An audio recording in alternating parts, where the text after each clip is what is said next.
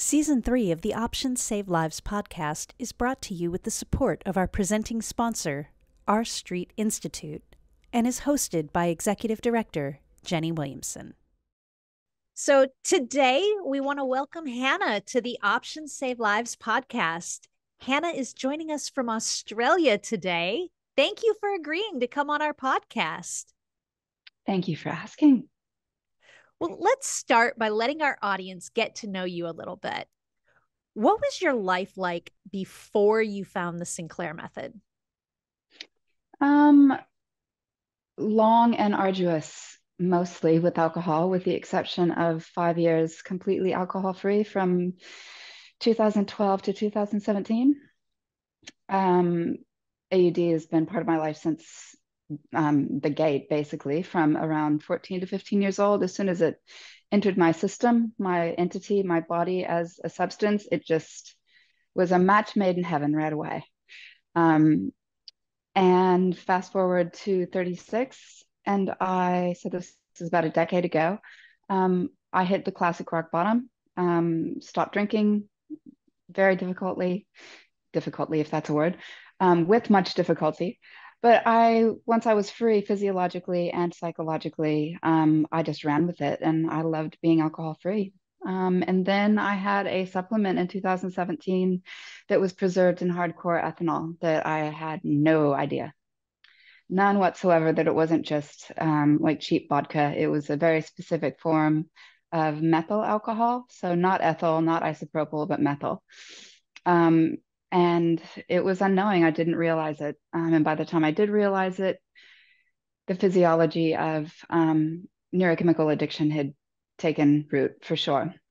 So that was 2017. And then, you know, a massive um, epic level binge cycle for years occurred. Um, quite disastrous, quite life threatening um, it was bad. there is no other way to describe it. It was as extreme as um, I could have ever imagined, and it was horrible. And um, then I started TSM in May of 2021, and things changed from the gate immediately for me. So the opposite of what happened when alcohol entered my system um, unprotected with by naltrexone, and then what happened after TSM, polar opposites how did you first hear about the Sinclair method? What was your first reaction to that? Honestly, I can't remember if I if I um I think I told Claudia this and we laughed, I think. But I saw her TED talk. Um this was while I was, you know, in the middle of my well-established AF life. And I just happened to stumble across the TED talk. And I kind of felt a bit smug, to be honest. I was like, okay, well, that's pretty cool. And I'm glad for you. But I stopped drinking without medication that was what was going on in the back of my mind because I was very indoctrinated to um, not so much AA. I had long since left that that singular paradigm, but I was very much aware that my own intense experience was stopping without pharmaceuticals. Um, so using that as a measuring stick rather than looking at the science, which is what I do now, um, I just took it with a grain of salt. I had no concept the magnitude of what it could offer people because I wasn't in a place where I needed it yet. Um, and when I was, even well, when alcohol came back into my life and I realized, my God, I'm actually drinking again, and these binge cycles are extremely dangerous. Um, it came to a point where abstinence only methodologies were well and truly killing me. Honestly, you know, I even tried going back to AA. That didn't last long. The, you know, it just, I had moved out of that paradigm of thinking about um, AUD. Um, so that's what it boiled down to abstinence only methodologies. I was just getting worse and worse and worse. And I've been watching TSM from afar for a number of years, actually, and studying it um, on my own in terms of the neuroscience and neurobiology. And the, uh, I just realized at one point in May or so, I have to think laterally. I can't keep banging my head up against this wall to just stop, just stop, just stop, and stay stopped what the hell am I going to do? It was bad. um, and I, on a wing and a prayer, I started TSM and it um, changed the course of my entire life immediately. So many people find the Sinclair method when they when they especially Claudia's TEDx talk, you know, when they're already search they're they're fed up and they're they need help and they're searching for help. And you came at it differently, having found a successful at the time for you recovery method that worked, that you were stable in, and had you not been sideswiped unknowingly would have been able to maintain. So that that's Certainly. that's a very different way of coming into the Sinclair method. And I'd love to explore that a little bit more because we do get a lot of people, and I know you've seen this in the peer support groups, who say, okay, I've been abstinent for a year, I've been abstinent for two years, but I'm thinking about trying this. What's what's your reaction to that knowing that yes you then tried this and it worked but you would not have left your sobriety on purpose that was something that was not a conscious choice for you right but i was also someone who was actually really really content and happy to not even now, I don't actually ideally want alcohol in my life at all, just simply because it just doesn't give me anything. Um, it's not worth what it costs financially, physically, and all of that, even though if I drink, it's not much because of TSM.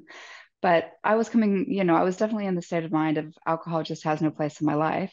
But if people want alcohol, um, because it does add something and it's just something that they want to include in their lives, then um, you know, I think if you've worked to come out of maladaptive addictive behaviors, then the protection of TSM really is the golden ticket to be able to then um, safely moderate from from that point forwards. Not everyone necessarily will need it, depending on I think brain chemistry mostly and other things going on in one's life. I mean, I didn't, you know, I went to AA for a little while and then I left. And then my methodology and my my way of living for years was just living a full life without alcohol. I wasn't practicing anything um, abstinence specific. It just had left my life. So in that context, my brain was fully rewired, just not pharmacologically. I had every every way, every definition of extinction. I that was that was how I felt. That was how I lived. I just hadn't gotten there through the more pharmacological route that TSM offers. Um, once I came, once alcohol came back into my body, um, and the absolute tremendous cascade of neurochemistry just exploded in my brain. You know, looking back on, back on that, it's just shocking at how fast and furious it happened. Um, so for me at that stage, using a medication to block that Armageddon really was just a no brainer once I wrapped my head around voluntarily putting alcohol back in my body and trusting that it would be safe. But for people who want to explore options to moderate safely, TSM is at the absolute top of my list for sure, in addition to looking at um, the why.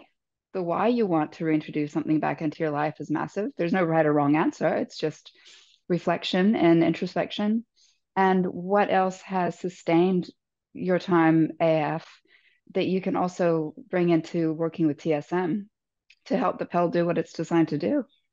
Those would be just my first thoughts off the bat, really. It sounds like after having what the way you're describing something like 22 years or so, 20 plus years of of problematic drinking followed by about 5 years of no drinking so your tolerance is now ultra low and the introduction of alcohol it sounds like you had you also dealt with the alcohol deprivation effect in that huge immediate spike um, can can you walk through from a psychological standpoint how how scary that can be when all of this came, especially because this was not a conscious choice that you made to go start drinking?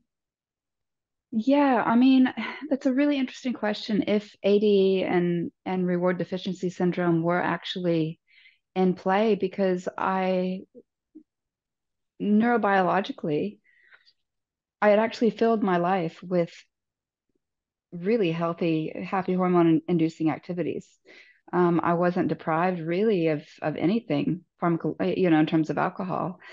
Um, I think there are often perfect storms in life, and the perfect storm for me that coincided with that supplement coming into my into my life and body was that it actually just wasn't that great of a time. There was a lot of pretty intense stresses and you know just life stuff like we all have, but they all coalesced at once at the same time that the supplement came in.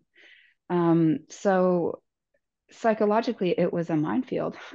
it was a total absolute minefield to go from stability to holy crap, I am now I actually went into denial for the first time. I can honestly say from the from my teens, I knew that I was, and uh, the language at the time, an alcoholic. I knew it. There was no denial. My early twenties with my drinking friends, very small, close knit, very you know, very close circle. We all knew that we were alcoholics. Um, I was never in denial, but after that supplement, I was actually in denial that I was caught by alcohol again. Um, and then I had to just give up the ghost and say, okay, I am well and truly addicted, but this is my only now then you get into that circle of well it's my only coping mechanism. It's the only way i can sleep. It's the only thing that's working. But then i medically detox pull myself back together and go the abstinent route and rebuild and rebuild and rebuild. But inevitably something would happen that i just that's where i think i fell into that um, that neurochemical cesspool that the you know the brain just wants to be in homeostasis. It doesn't want this gaba glutamate imbalance. It doesn't want the dopamine dance. It, it, you know it actually wants stability. It wants function.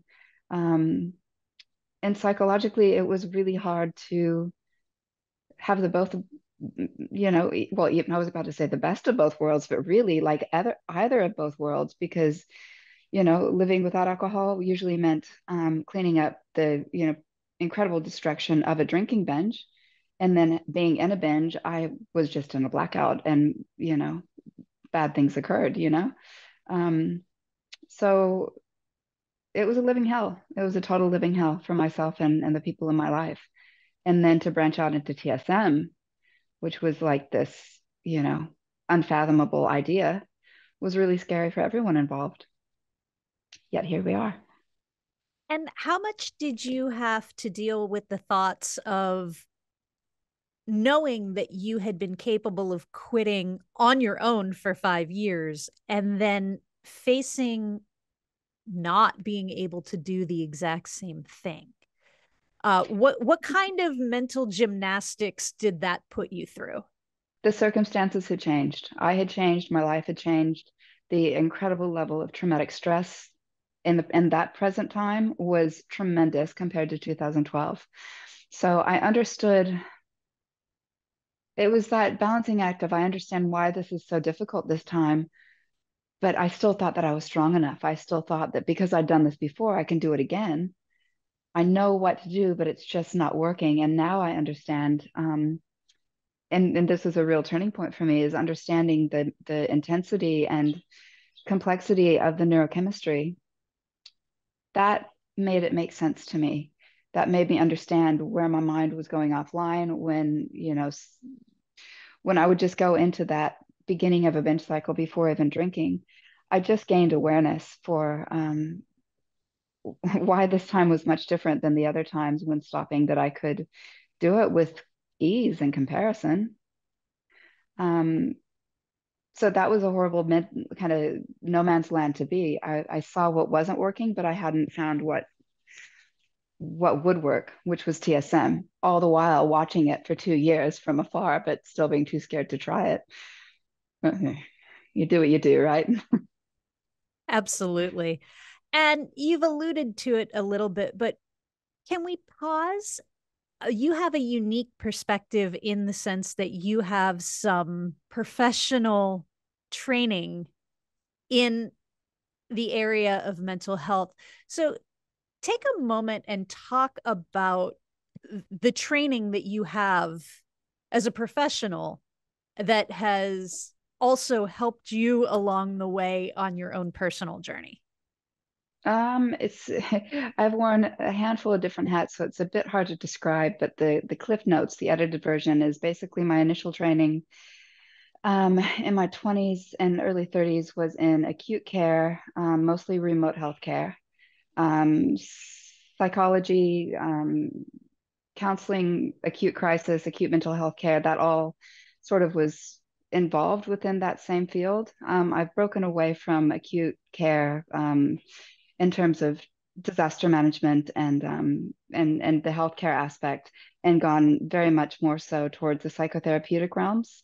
Um, and one of the areas that I specialize in is the, the neurobiology and normo, normo, um, neuropsychology and psychophysiology of AUD specifically. And then I have a few other um, sort of niche fields that I work in. But you know, in the context of TSM, it's it's really that fact that wrapping my head around. I mean, I've got notebook after notebook handwritten and highlighted and color coded to understand what the hell was going on in my in my brain, my midbrain in particular, that led to this lack of seemingly lack of capacity to make conscious decisions that I just couldn't make to stay away from alcohol and stay safe. So that's why it's it's really become my focus now. And you know, 80% of my my work is on AUD in particular, but um, TSM, but also dealing with um, acute withdrawals and detox because I've been through that myself as well to um, extreme extents. And there's not adequate help for that whatsoever. So those are the two main main hats I wear these days in terms of um, of of the neuroscience of AUD. And in addition to just trying to, um, I was just listening to the first part of Bruce Rose's talk that you just recently did with him, and it's like you know cultivating change from you know a, a macro level um, place in terms of governmental organization, health organizations, um, all the way trickling down to here in Australia, your local GP clinic. It's really, really hard to do, as you would well know. but if we don't get the awareness out there, then it's it's just going to stay really, really difficult and, and unknown. So that's a big portion of of the work that is just grunt work, but it's really necessary grunt work um, because without that, people are still suffering. Your recovery journey is uniquely yours. When you have questions or need guidance reaching your goals, there's a TSM coach for you at Your Sinclair Method Coaching. Book a coaching session today. Walk us through your journey on the Sinclair Method. I mean, like most people, you've had some mm-hmm. ups and downs. So, why don't you take a few moments to talk about what your specific journey was like? Well, again, that perfect storm thing. I think that when I finally bit the bullet and started TSM, it was um, 11 days after. I mean, I think in one year in particular, I had like 20, at least 20 medically assisted detoxes, either in hospital or at home.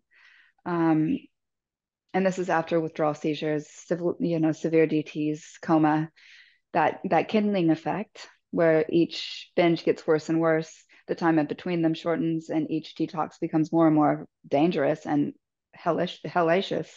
Um, that had certainly happened. So I was 11 days past coming out of a medically assisted detox and i was already i already knew. I just knew okay i'm drinking again. And i just thought this is it's only been 11 days this time. Like throw me a bone. Um, and i thought no it's time. I've got to try tsm so i did it and i did the wrong thing i took 50 milligrams on an empty stomach and i was absolutely fine so, you know, just for those of people who, you know, a lot of some people do have side effects and challenges. I didn't at all ever. The 50, full 50 was just a non issue. And I waited an hour and had a drink or two. And for me, I was a lucky fast responder. Um, I had actually had a decent day that day.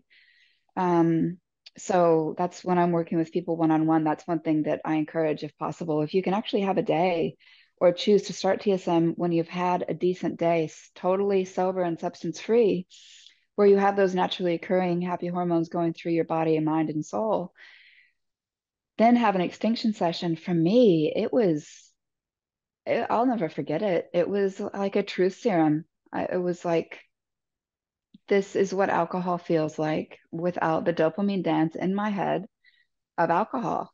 I can feel it. I feel altered, which kind of was enough for me, to be honest, because I ceased feeling the euphoria from alcohol years ago. But I felt altered. But when I really sort of like settled down into like, how am I actually feeling? I felt kind of dull and gray and lifeless and just blah. It wasn't bad. It was just now I get why people don't drink a lot. and for me to have even that thought, now I understand why people have one drink and think, "Oh, I'm stopping because I'm starting to feel it now." The light bulb went off. I because now had blocked those opiate receptors, the whole neurochemical exchange in my midbrain wasn't happening. I not only didn't get the high, which I wouldn't have gotten anyway, but I didn't crave more of a feeling that I didn't particularly enjoy. So no reward, no reinforcement to, no motivation to um, continue the behavior of, of drinking. I was like, oh, it was just, I was pretty gobsmacked to be honest. So over time, um, I st- stayed very similar to lessening degrees though. And this is one thing that I think is really important that most people understand or come to understand about TSM it is ever changing. It's definitely a fluctuating experience. There might be spikes and plummets. Ideally, there's nice rolling hills. Um, so for me, while I stayed compliant, I just had nice rolling hills.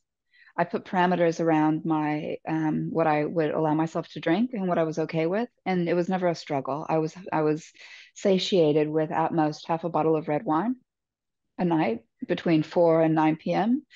Um, it didn't cost me anything the next day. I more often than not, I didn't even finish that much.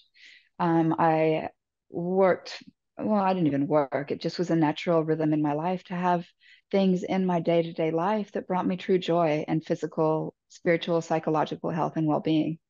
So I had that that second tiered aspect of TSM that I think is sometimes overlooked, but is so important. My success was directly related to how proactive I was and I was motivated. I didn't want to wake up with all four limbs strapped to a bed and a ventilator tube down my throat from a coma without knowing my name, without knowing how to walk, without being able to hold a banana to eat, even though I couldn't eat. I was motivated. so I was really proactive and it worked a treat. Um, my downfall was noncompliancy. And I am perfectly happy to be the poster child for noncompliancy because it um, you know, I just would go into this mental blankness even after all that success. I could not have asked for anything more from TSM, but I would just go into this emotional overload and um, kind of mental blankness where I just would think one time without the pill won't hurt because I wanted to drink and I wanted to drink then. Um, or um, just honestly, I know it sounds absurd, but I would just forget to take the pill. It wouldn't occur to me. And if you look at the neuros psychology of um, traumatic stress, the prefrontal cortex goes offline and you're in primitive response mode. And in brains that are primed for AUD, that primitive response mode is um, wired for survival, and survival in that brain means immediate safety. And immediate safety in that brain, what's more immediate and accessible than alcohol? It doesn't even take that long to get into your system, you know? So for me, drinking non-compliantly would end would would then lead to no joke 36 hours or so i would be in a blackout and i would literally disappear for weeks up to a month at a time. Um, and my work at the time was taking me from place to place and place which was rather disorienting in and of itself. But there were times when nobody could find me you know? I mean i had a ridiculous number of ambulance trips and it was just all bad. All the while i had my um what's the word? My holy grail really. And i don't mean to um you know i'm really careful about words like cure and miracle and the be all end all because i just happen to have an extraordinarily positive experience that i will be eternally grateful for. It's not going to be like that from for everyone. Other people won't struggle with compliancy. I did and it was hellish. So we're all going to have our our benefits and detriments. We're all going to have our things to navigate um, that just happened to be mine. So yeah, with compliancy, I can remain safe to drink anytime I want. I just really don't don't want to. So then now where I'm at um, is that if I do want to drink, I sit with it, and 95% of the time it just goes away. It's just a habitual um, thinking pattern in my head, and it goes away. Sometimes it goes away as fast as it comes in. Like ah, well, that was that.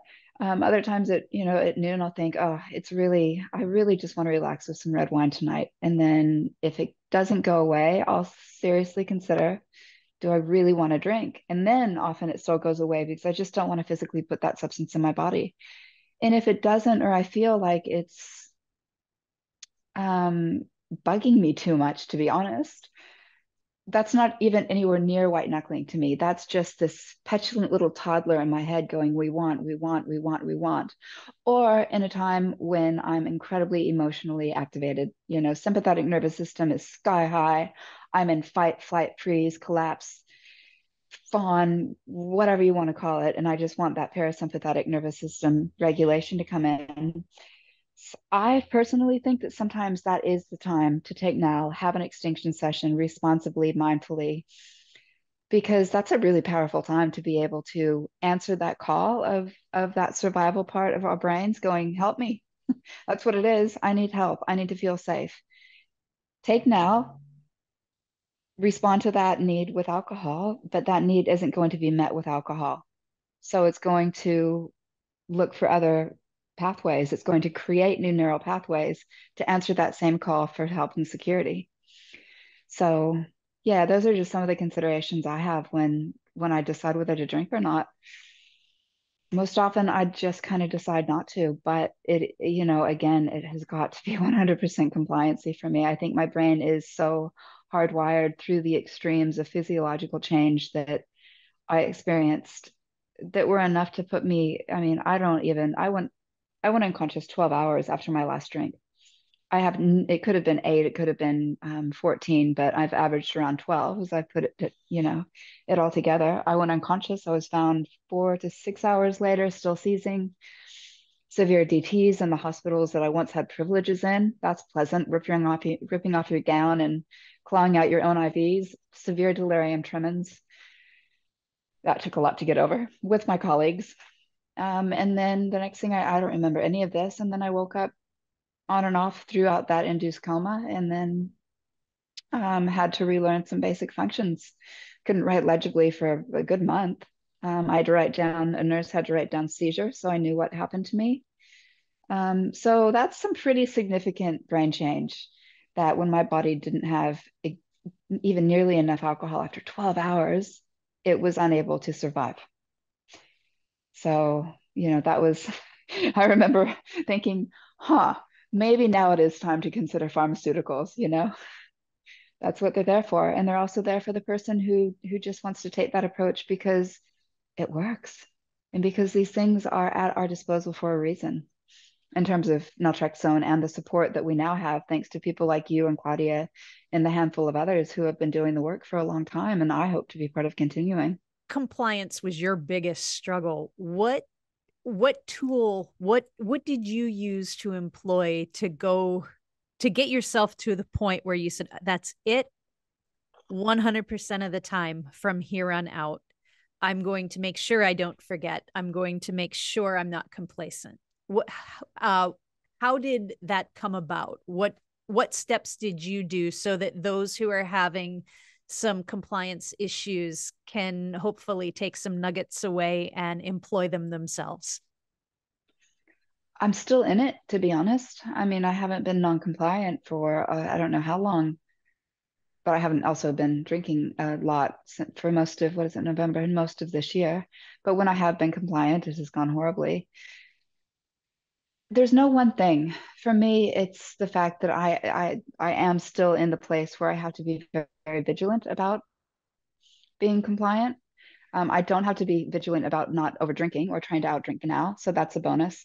But i do have in my conscious mind and we i think have to work to keep these things in our conscious mind to not be um, hijacked by the part of the brain that just wants to drink.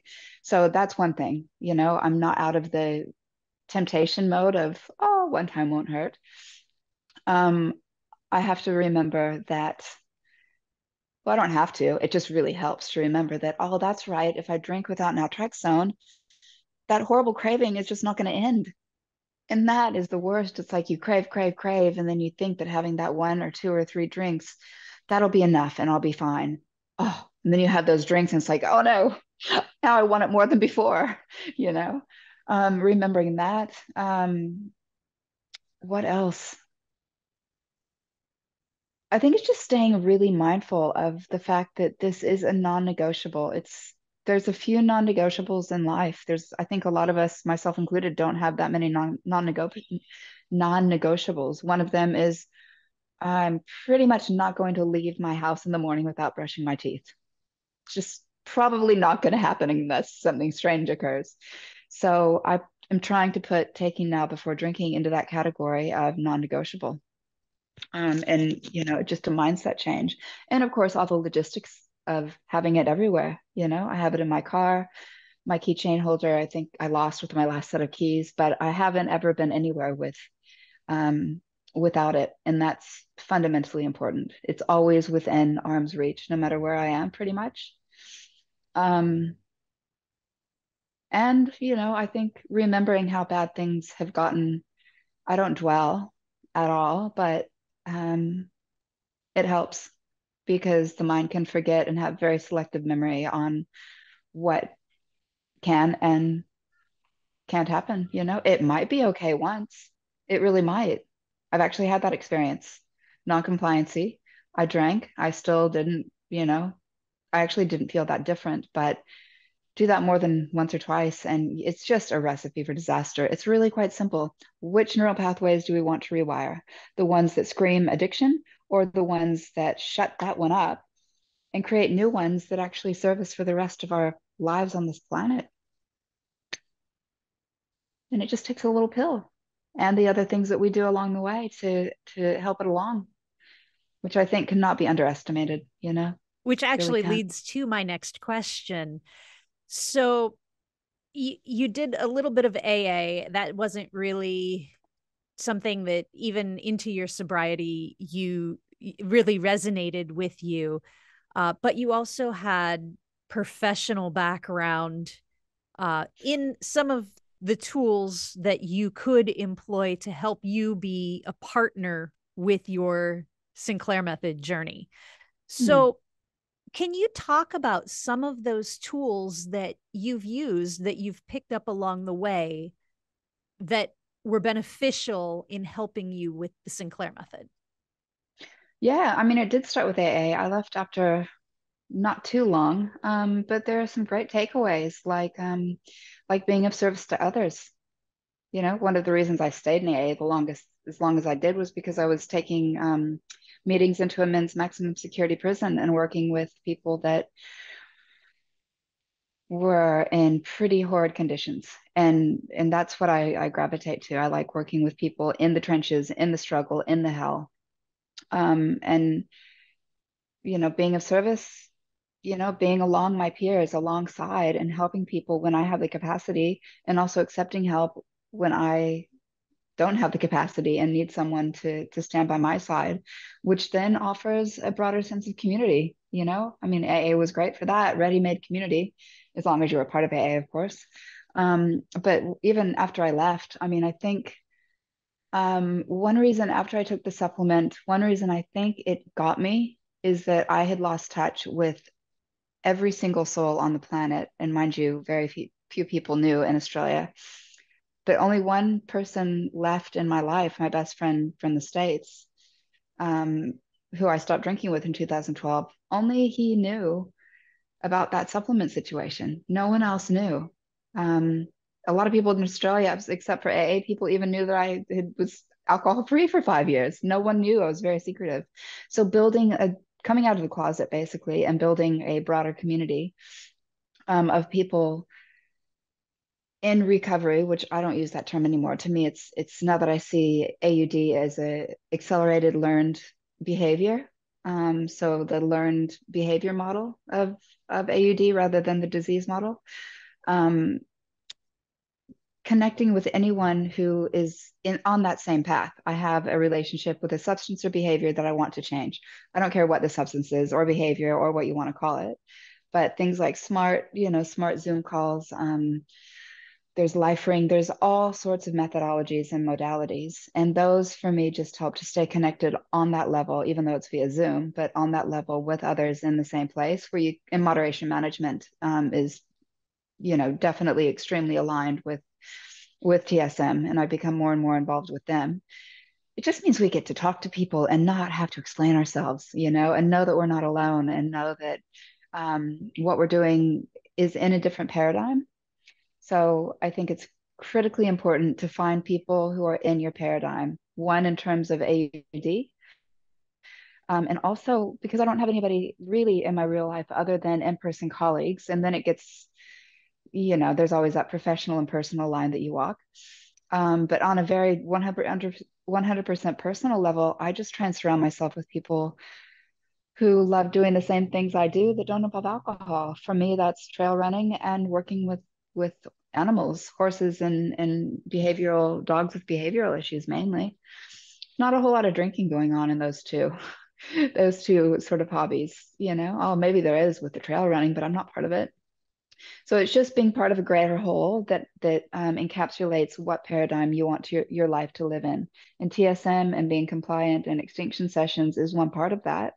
But it, you know, until we have as many um, TSM meetups as we do AA meetings, wouldn't that be fantastic? You know, you just scroll through a list every day, and it's like, oh, I can be there in an hour. Um, we we get to create our own and again, this is like, I could look at that as a detriment. Oh, this sucks. I'm so alone in this. But really, it's more like, hmm, what can I create here? You know? Um, so, yeah. I mean, those are kind of the main things, but also just being really, one thing I always ask myself when I'm, especially when I'm struggling, struggling is, are the decisions I'm making in the best interest of my physical, mental, spiritual, emotional, and psychological well being?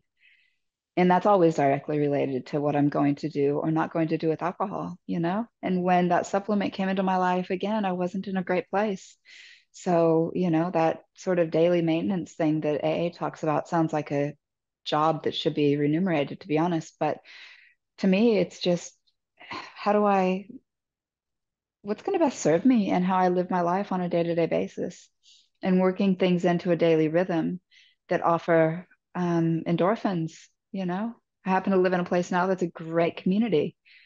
Um, it's not that isolated. Um, and that's and they don't know anything about aud with me. It's not an issue but we know about being humans together we know about going next door and and just saying hey you know i need some help. Can you do this this and this? I, yep sure. That's that's medicine for the soul in whatever form it comes in. You talk about reflecting and asking yourself questions.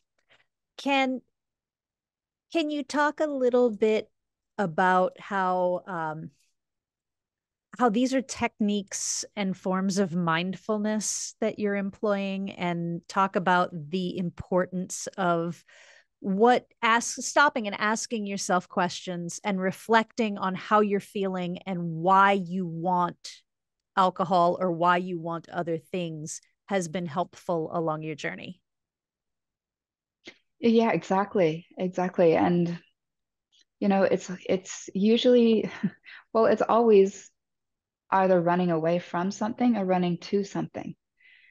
Because if you're equanimous, if you're in the middle, then there's no craving, clinging to something outside of ourselves, and there's no hatred, aversion to something and wanting to change that. So yeah i mean it really is just reflecting on why do i feel the way I, I feel on a you know on a given day and a certain whim of emotion and is that emotion or feeling transient or is it sticking around like you know sandpaper like um not sandpaper but you know like some stuck to me like glue kind of thing it's like um and if it is that niggling thing that i just can't shake then where is it hitting me at my core and what can i you know, if I can identify it, what can I do about it? And for me, that's what I love about trail running because I often can't identify it in this overly used head of mine. you know, sometimes that thing just needs to shush. Often that just needs to shush and put me on a trail out in the bush alone. And the mind wanders while like the emotional psychological mind wanders and you can you know i think this is applicable to a lot of different things we do physically you do um is it discus uh disc golf disc golf yeah um so you know i think it's it's applicable to anything we do like like this. Our physical bodies are doing one thing our minds are focusing on that but different parts of our minds are going off to something that irritated us five years ago. But because we're engaged in something physical there's the capacity for that emotion to work itself out psychosomatically through the body. And that's where the psychophysiology background that um, is a huge part of my life comes in um, and you know on the trail it's like yeah i'm thinking don't clip that rock don't fall on that you know where where is this trail going is there something behind you know you're, you're always thinking thinking thinking for me there's no chance there's no um, opportunity for those highly emotive th- thoughts until they come at me like a flash. And I remember something someone, you know, said yesterday that irritated the hell out of me. And then I find that my pace changes or my posture changes. And for me, it's it, oh, it's just sheer gold because there's that direct link between the mind and body. And that also happens when I'm working with animals, particularly horses, because you have to be so present to deal with a, you know, 12 to 1500 pound animal that may or may not shy from a little fly. They're the funniest animals. Um, and and be a physical danger to you just by accident. So being present in the moment um, and allowing those those thoughts to come in come through and out in whatever capacity and having other heartbeats around is so helpful trail running is a total you know very much a solo thing for me but i just can't stress the um, tremendous work that is working with animals because they are other heartbeats. We need other heartbeats to regulate our central nervous system. Um, physiologically, that's a huge reason why the majority of people drink. That's a huge reason why there's such a link between trauma and addiction. You know, Gabor Mate is classic. He's like, I've never met a person who has problems with addiction who has not experienced some degree of trauma. Not everyone who experiences traumatic stress will experience addiction for a variety of reasons.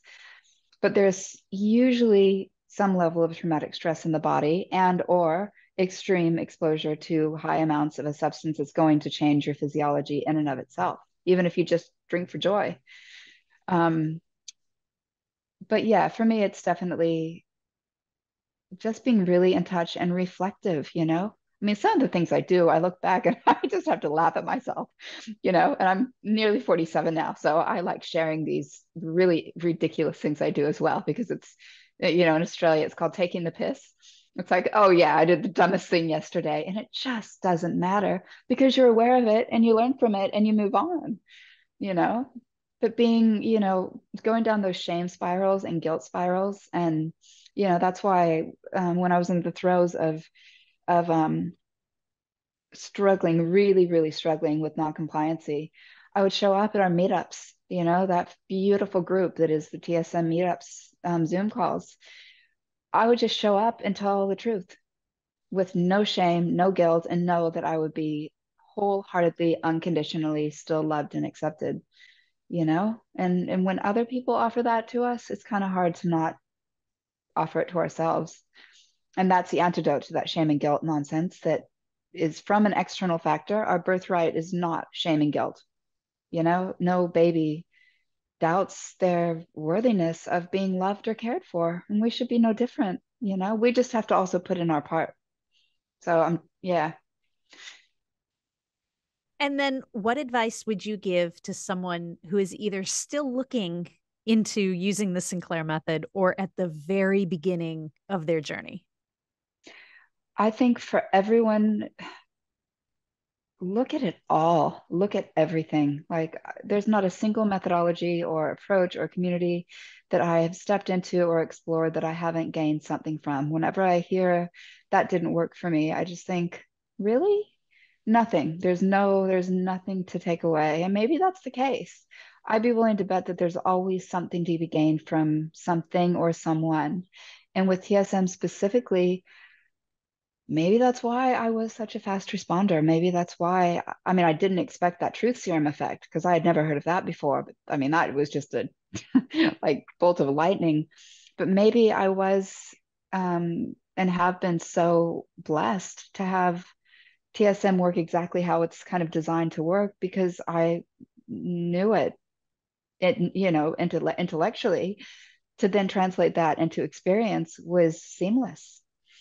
Um, so when people take TS take naltrexone, but don't understand it in the context of TSM, or even how um, I'm doing a talk with moderation management in a few hours about TSM and naltrexone in general, you have to understand the mechanisms of how it works because this is based in science. Full stop, period. At the beginning, that's the core. And then you can look at your own life and see what might benefit you and how to not just help extinguish those neural pathways, but build new ones. And then you can just take flight in life. Honestly, that's what it offers, you know? All right. Well, thank so you so do, much for uh, for taking the time to be with us today. Uh, definitely appreciate your insight. Wish I had even more time to continue chatting because I have so many more questions that I could ask. Um, but we are limited on time. So thank you so much for sharing your story and your experience. Thank you so much for having me, Jenny.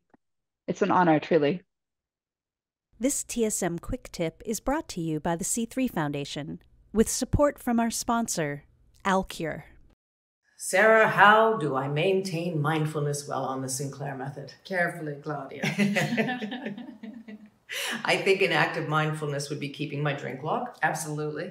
I'm keeping that up to date. And also asking myself after the first glass of wine is gone, do I really want or need another one and why? So important to be drinking mindfully as well. Yes. Why do I want another drink? If you're not asking yourself that, then you're just drinking mindlessly. For the sake of drinking. It would be like being on a diet and you want to have a cookie or whatever. I do. I do. Yes. Okay. We always want cookies. But what if we're on a diet and we want to be mindful about our diet and caloric intake?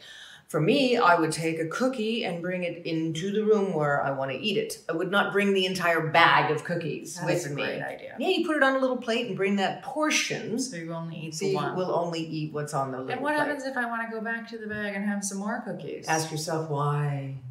That's a great idea.